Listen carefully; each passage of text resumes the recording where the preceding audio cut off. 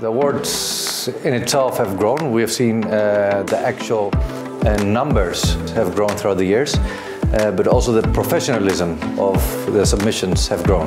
Well, we partner with Boat International because we think you know it is it really offers the right platform to engage with the young designers.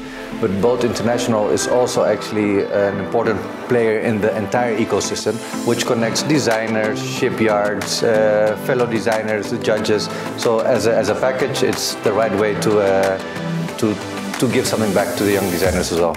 Choosing a winner from this group was a difficult task. Who's our winner, please, Paris?